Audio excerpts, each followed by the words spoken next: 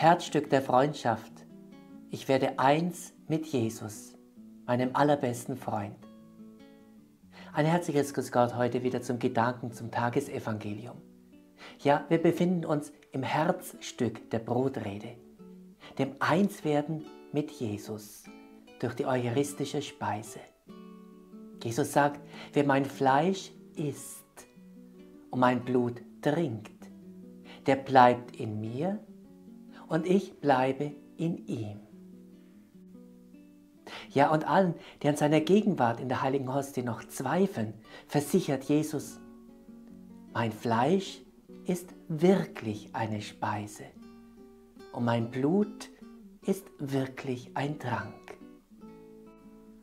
Der selige Carlo Acutis suchte leidenschaftlich nach eucharistischen Wundern, wo Jesus durch besondere Zeichen unseren Glaubenszweifeln entgegenkommt.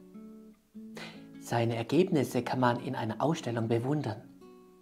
Sie ist zu finden unter dem Link www.miracolieucharistici.org.de.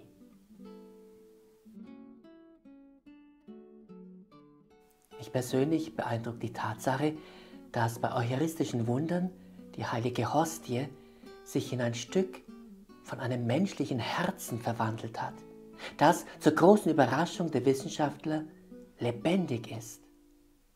Ja, Jesus schenkt uns also nichts Geringeres als ein eigenes göttliches Herz.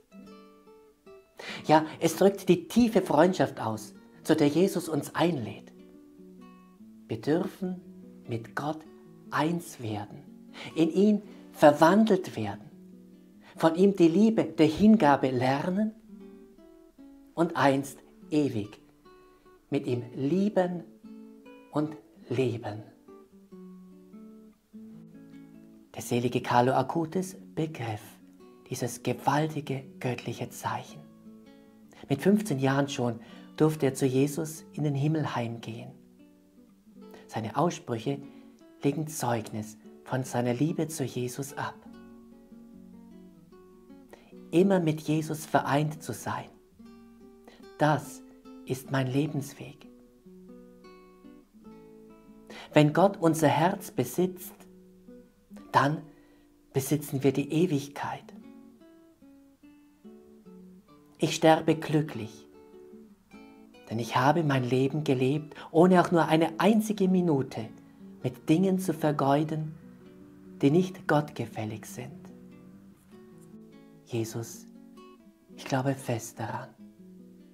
Du bist wahrhaft und wirklich gegenwärtig unter dem Zeichen der heiligen Hostie, weil du uns so sehr liebst und uns deine Freundschaft bis zum letzten zeigen willst. Ich sehne mich nach dir, nach der Freundschaft mit dir. Komm zu mir und erfülle mich mit deiner göttlichen Liebe.